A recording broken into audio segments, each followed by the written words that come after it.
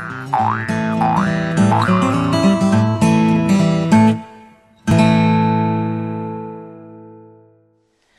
everyone! Welcome back to integralcalc.com. We're going to be doing another partial derivatives problem today. This one is the function f of x y equals 100 x to the 1 half y to the 1 half. And they've asked us to compute the first order partial derivative of, uh, of f with respect to x at the point 2516, which means that we're going to take the partial derivative with respect to x and then plug in the point 2516 and see what we get. So let's go ahead and take the partial derivative of f with respect to x. And when we're taking the partial derivative with respect to x, we're holding y, the other variable, as a constant.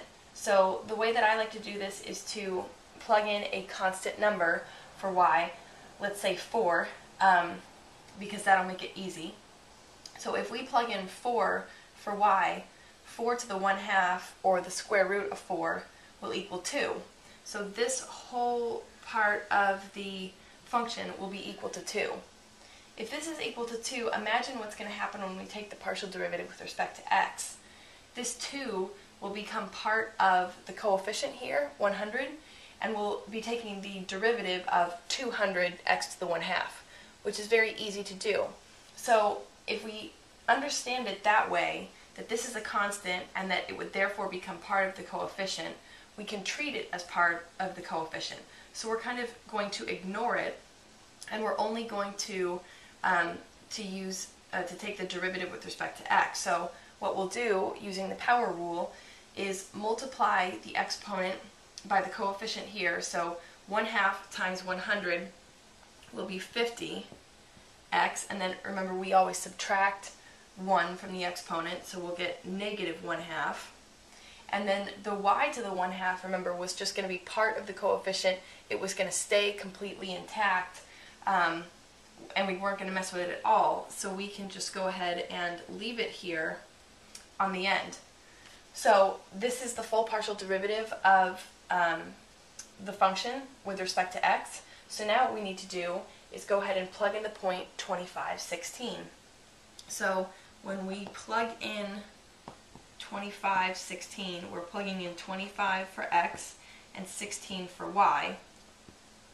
And let's go ahead actually, before we do that, and simplify this. Since we have a negative um, exponent here in the numerator of this function, we can make this a positive exponent by moving it to the denominator. So we can simplify this. We'll end up with 50 y to the 1 half over x to the 1 half. And we just change this exponent from a negative to a positive by changing it from the numerator to the denominator.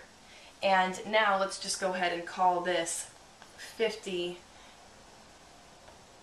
Anything raised to the 1 half is the same as the square root.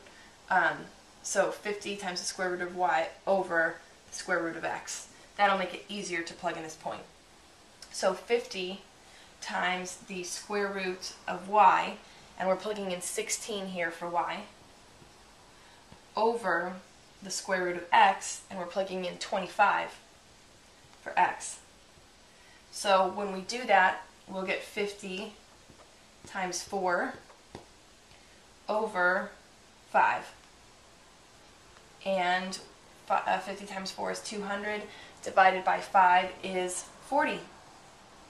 And that is your final answer for the partial derivative with respect to x at the point 2516. Thanks guys, see you next time.